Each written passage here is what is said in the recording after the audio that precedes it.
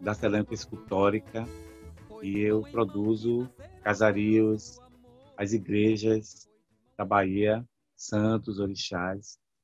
Mas atualmente a minha produção, o foco é nos casarios e nas igrejas do centro histórico da cidade de Salvador, da Bahia, né? de, outros, de outras localidades também. Desde criança eu sempre mexi com barro, né? qualquer lugar que tinha barro eu ia lá, pegava, molhava, porque eu via na televisão também, né?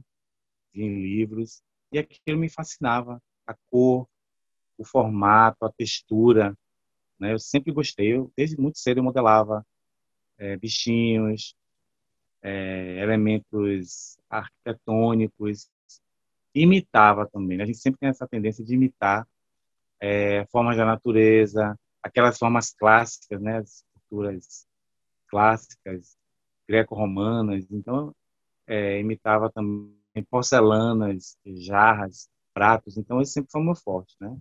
Eu só não tinha ciência que a cerâmica tinha que queimar. Tanto que quando tinha feiras aqui na, cidade, né, que eu sou de Mata de São João, é, eu sempre pedia para meus pais comprarem para mim porcelanas, né, é, vasos, pratinhos. Então eles sempre me apoiaram e compravam. Eu ficava fascinado com aquela cor que, que a, argila tinha, né? Então sempre me fascinou isso. Então desde criança eu sempre mexi com barro.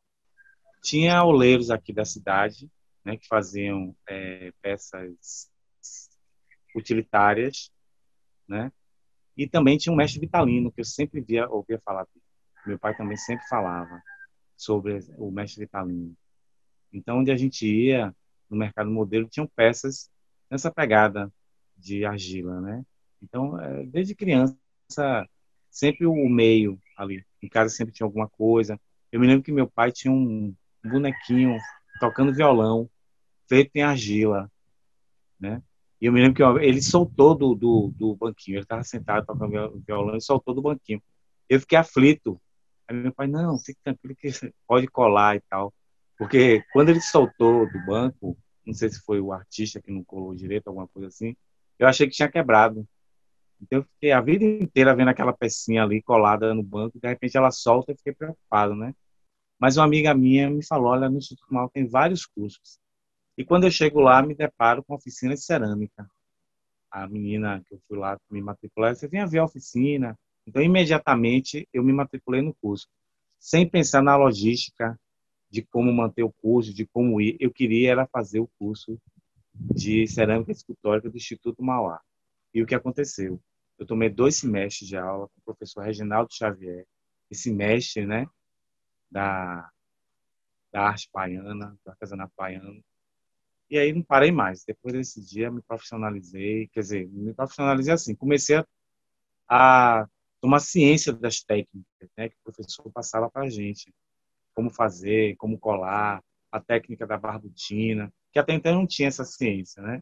Eu achava que era só modelar, mas não. Lá eu tomei toda aquele conhecimento das técnicas com o professor Reginaldo, um homem muito paciente, cheio de informações e passava essas, essas informações para a gente. Quando eu concluí o curso, eu já me sentia assim preparado, né? Claro que a gente não tinha essa ciência que a gente aprende todos os dias.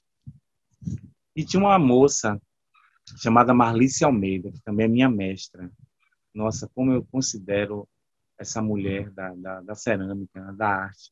Ela tinha uma loja e eu comecei a colocar meus trabalhos lá na loja dela. E nunca mais parei e ela me deu várias orientações. Eu também passei a vender no, no Instituto Mauá. Ela me orientou a, a, oferecer meus trabalhos lá e nunca mais parei. Foi lá no Pelourinho. Aqueles casarios sempre me encantou. Eu sempre gostei da arquitetura antiga.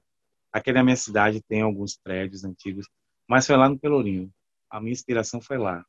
Aquelas cores, os formatos, as janelas, né? aquele formato de janela as cores, os telhados.